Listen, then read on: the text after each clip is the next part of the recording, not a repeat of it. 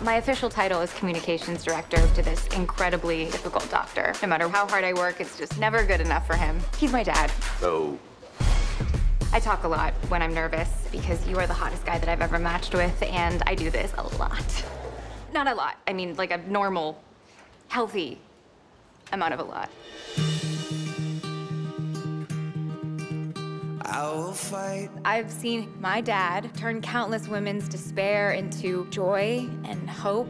I will fight for you. In order for the miracle of conception to occur, one sperm must win the race for life against 250 million competitors. So I made it my mission to improve nature's odds, to combat infertility.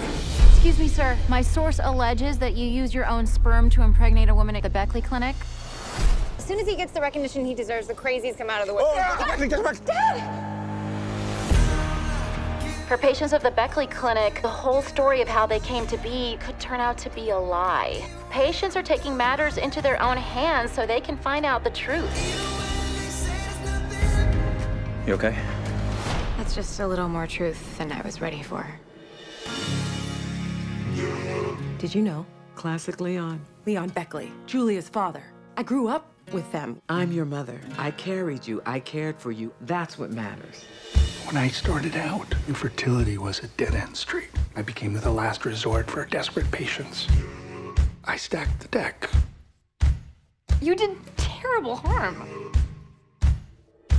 Something in the way you roll your eyes. Julia actually does the same exact tooth tapping thing. No, I don't. so does Edie. I do not tap my teeth. What if it's like a shared genetic trait? Like rolling your tongue into a cigar shape? But now you're the only thing that's good.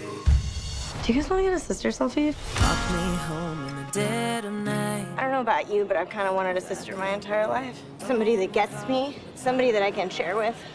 There was so much wrong.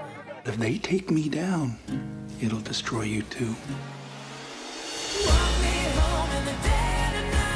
I was always jealous of you. You had a dad who would come home and sit down with you at the dinner table. I spent my whole life looking for that. You'll stay with me tonight. You're welcome to stay here as long as you need to. No one's ever been this nice to me. I'm gonna need my own bathroom though, with a tub. If I don't get my soak on once a day, I'm like, no bueno. There was so much wrong. I can't believe it's not just me anymore. I have sisters.